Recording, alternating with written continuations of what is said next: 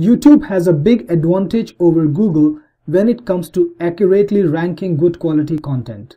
All the content is on their own website and they can measure how the audience reacts to the content and understand what they like and what they don't like. It makes it very easy for YouTube to identify good quality content and lower the rankings of the bad quality content.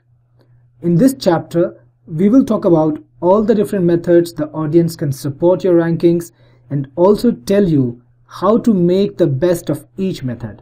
So let's get started.